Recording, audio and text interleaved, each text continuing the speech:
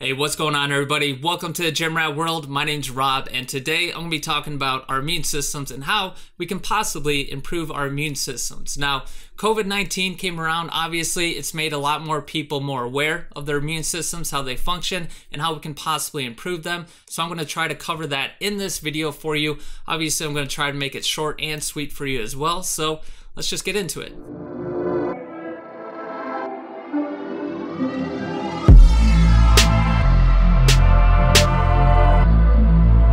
So please excuse the laptop. I just want to make sure I don't forget anything. Um, but first off, let's just start off with the fact that most of us, you know, we're not scientists, we're not physiologists. So, you know, for most of us, we don't really understand how our immune systems function and definitely not how we can improve our immune systems. And that's perfectly normal and it's perfectly acceptable. But it kind of was perfectly normal and acceptable. Now that COVID 19 has come around, you know, it's not really as acceptable. We can't really turn a blind eye to our immune systems because of this virus that came along and has shown us that a lot of us have weak immune systems. So, um, a lot of people are wondering how we can possibly improve it, and that's kind of where this video is going to go. All right, we don't really need to know everything about our immune systems, but we do need to know something.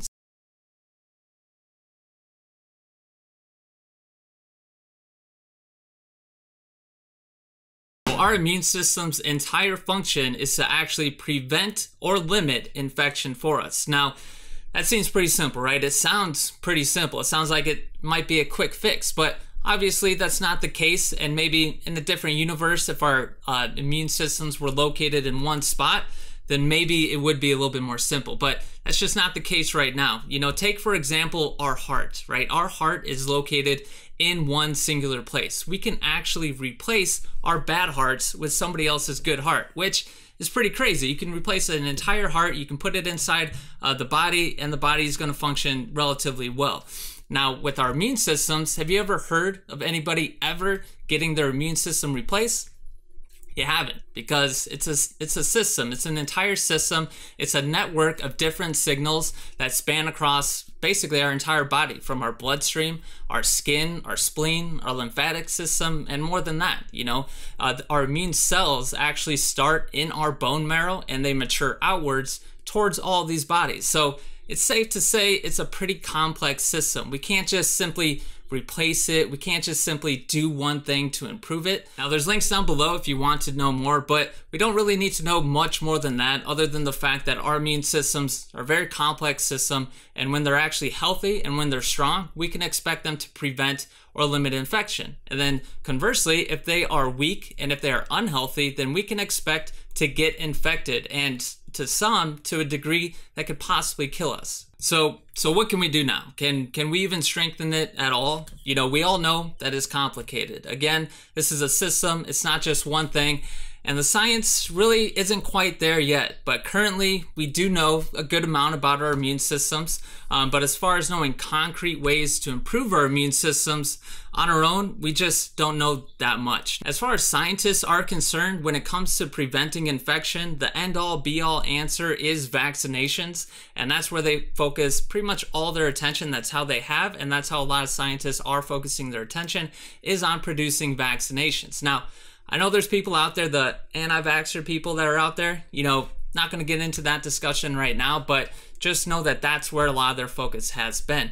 Uh, but the good news is, is that there are researchers and scientists out there that have been compiling data and trying to figure out ways that we can actually improve our immune systems on our own. But again, this is a complicated system. Now, according to Harvard Health, our best options in regards to improving our immune system is to follow a healthy lifestyle, which makes sense, but it's kind of broad, you know. But they do go into a little bit of detail. They say, you know, no smoking, exercise regularly, uh, maintain a healthy weight, also get adequate sleep, and a few more. But let's start with what I think is probably one of the most important things that you should be starting with, which is exercising. If you're not exercising right now, it seems like exercise seems to be the thing that should be on the top of your list. And that's coming from Harvard Health. That's their advice is to start exercising. Now, there are a few other reasons other than just saying, hey, just exercise because it will strengthen your immune system. There are a few other things, uh, such as exercise has actually been shown to help alleviate depression. Right now, we've got a global pandemic, we've got civil unrest, we got high unemployment, and we got media companies who are just hell bent on pitting us against each other, right? So it's safe to say that a lot of us might be depressed right now. Well, why is that important? That's important because depression has also been shown to do one thing to us, right? What do you think that one thing is?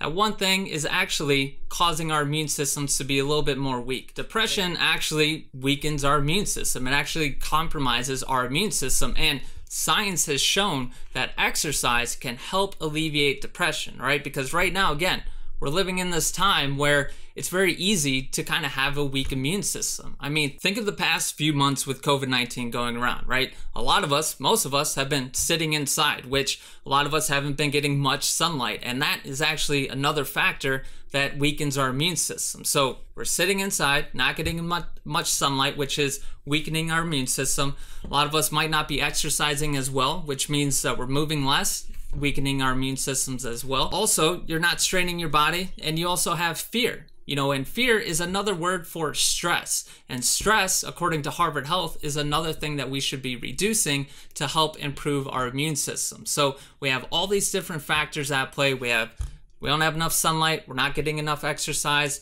Um, our diets might be off as well because we're just sitting inside and maybe we're feeling a little depressed. So we have this whirlwind of things that are going on. And this can honestly be quite depressing, right? We have all these different things going on. Uh, but the good news is, is that we actually have clear ways that we can improve. We have clear ways that we can change where we can sit there and say, hey, you know what? This isn't good for me. So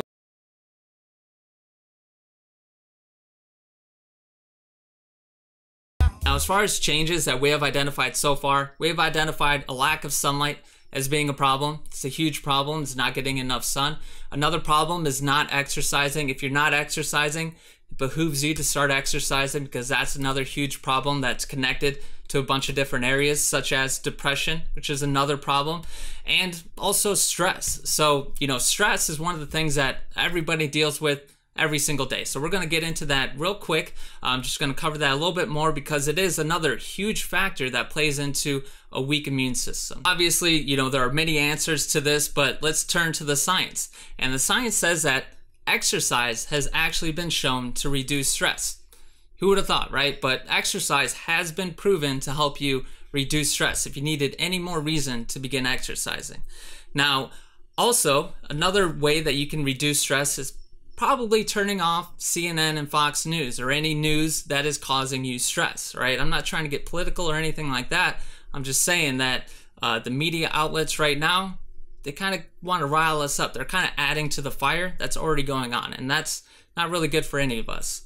Now, also, on top of that, moving forward, when you're scrolling the gram, TikTok, Twitter, or YouTube, ask yourself if what you're doing is actually helping you or hurting you. Just ask the honest question and answer the question honestly. Is this hurting me? Is this helping me? And then move forward from there. That can also help you reduce stress is limiting your time on your phone. Now, another thing that can actually help you reduce stress is mindfulness training. And I know some of you are sitting there like, what what's this hippie talking about? Mindfulness meditation?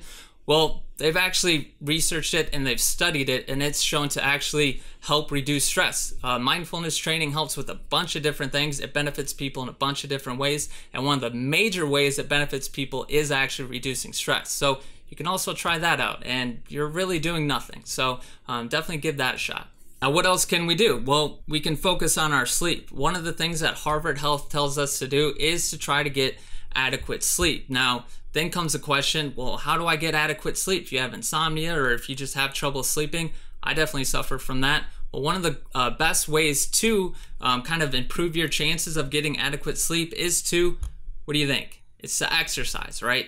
Again, exercise is a huge factor, um, especially a factor in actually helping you get sleep. But are you seeing a trend here? You know, exercise seems to be the thing that's intertwined into helping to improve our immune system, which is why I put it at the top of the list. The first thing that people should be doing if they're trying to improve their immune system is to begin exercise. It is the first domino, you know, but if you start today, will your immune system be impervious tomorrow?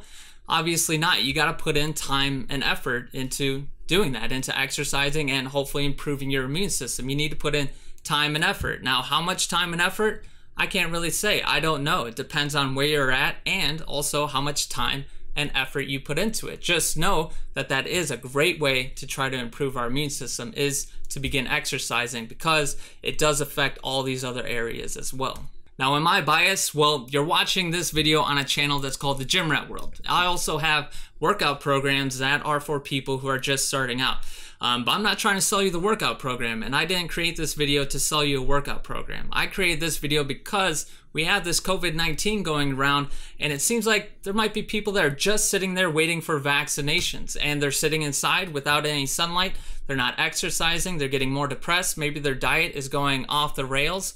Um, they have all these different things that are coming up, and I've that's why I made this video, is to try to talk to those people and say, hey, these are some areas that you can focus on to improve your chances of actually improving your immune system. The facts are laid out pretty plainly and pretty simply, right? Um, they say don't smoke, obviously, exercise regularly, also maintain a healthy weight. Those two kind of go hand in hand. Get adequate sleep eat a diet with sensible amount of fruits and vegetables and eat a diet that's uh, probably free of fast food and free of processed sugar as well focus on that. Another thing, get some sunlight. So again, these are some of the things that we've identified so far on improving our immune system. It all seems pretty reasonable and it seems pretty sensible. I mean, what else did you expect our scientists to say? To listen to the crystal ball lady or, you know, bring up reasonable and sensible things that we could be doing. All right. And if you talk to anybody who's been exercising for years, who has been watching their diet for years, just ask them how many times they get sick. Now, I'm not saying, you know, follow the anecdotes or anything, but I would say that for most people who exercise regularly already and have a good diet and don't have any uh, pre existing conditions, a lot of the times they don't really get too sick, and if they do get sick, it's really not that bad. Now, as always, though, the choice is yours. The facts are laid out. These are the ways that you can possibly improve your immune system. Uh, but yeah, thanks for watching this video. I, I know I probably stressed some of you out. I hope I didn't add on to it, but hopefully you do follow these practices and you follow these activities to hopefully, again, just increase the chances of you improving your immune system. But again, thank you for watching. I appreciate your time and have a good day.